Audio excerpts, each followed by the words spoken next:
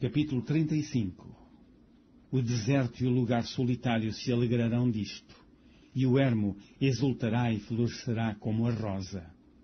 Abundantemente florescerá, e também jubilará de alegria e cantará. A glória do Líbano se lhe deu, a excelência do Carmelo e Saron.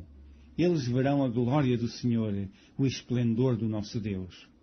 Fortalecei as mãos fracas e firmai os joelhos trementes. Dizei aos turbados de coração, sede fortes, não temais. Eis que o vosso Deus virá com vingança, com recompensa de Deus ele virá e vos salvará. Então os olhos dos cegos serão abertos e os ouvidos dos surdos se abrirão. Então os coxos saltarão como servos e a língua dos mudos cantará porque águas arrebentarão no deserto e ribeiros no ermo. E a terra seca se tornará em lagos, e a terra sedenta em mananciais de águas.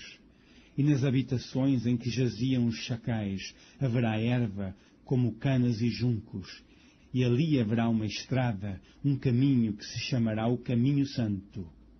O imundo não passará por ele, mas será para aqueles os caminhantes, até mesmo os loucos, não errarão. Ali não haverá leão, nem animal feroz subirá a ele, nem se achará nele, porém só os remidos andarão por ele. E os resgatados do Senhor voltarão e virão a Sião com júbilo, e alegria eterna haverá sobre as suas cabeças, gozo e alegria alcançarão, e deles fugirá a tristeza e o gemido.